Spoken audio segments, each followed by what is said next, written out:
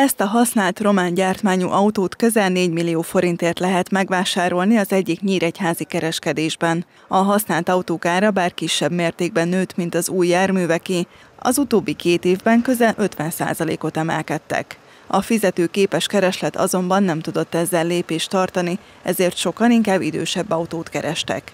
Ez pedig azt eredményezte, hogy a magyar autók utánpótlására a kereskedők is idősebb autókat importáltak külföldről.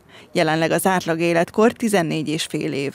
A leggyakoribb vásárló a 2 millió forint körüli gépjármű vásárló, és ezekben nyilván már csak 10 év feletti, jóval 10 év feletti gépkocsik férnek csak bele.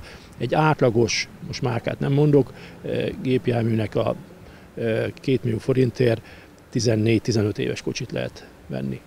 Tehát ez, ez, ez indokolja azt, hogy a, a külföldön az gépkocsiknak a, az átlag életkora drasztikusan megnőtt. Egyébként ez az, annak is az oka, hogy külföldön is feljebb mentek az árak, tehát nem csak Magyarországon mentek feljebb az árak, itt nyilván a forint-euró árfolyam is befolyásolja, hanem a, a németországi, ausztriai, olaszországi árak is 20-25 szájkos szinten mentek feljebb.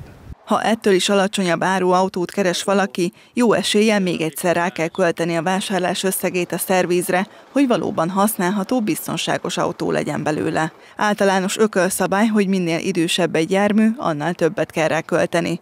Ugyanez a helyzet a specifikusabb autókkal. A prémium kategória is többe kerül, mert drágábbak az alkatrészek de az üzemanyag is befolyásolja a vásárlókat. Én azt gondolom, hogy a magas üzemanyag árak azért azt okozták, hogy a, a dízelautóknak a e, népszerűsége nem csökkent, hanem még inkább emelkedett, és az árai is e, e, egy szinten vannak gyakorlatilag a benzines gépkocsik áraival, mert egy négy-öt évvel ezelőtti tendencia az volt, hogy a benzines autóknak jelentősen nagyobb volt az ára, ma ez, ma ez gyakorlatilag kiegyenlítődött. Tehát benzines, dízel, gépkocsit körülbelül ugyanazon, ugyanazon típusban, ugyanazon áron lehet kapni.